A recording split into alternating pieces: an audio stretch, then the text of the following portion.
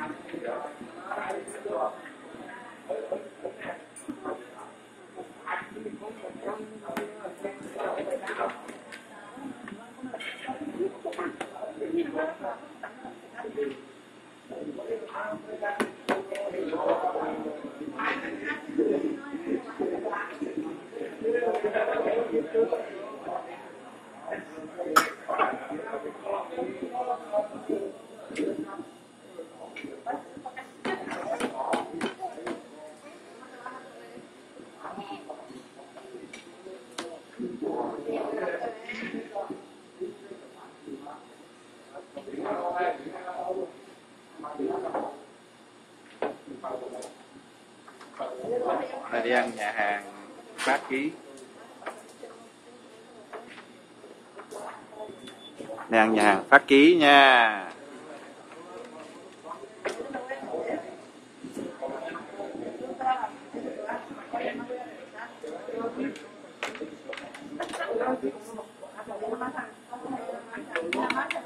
Ừ.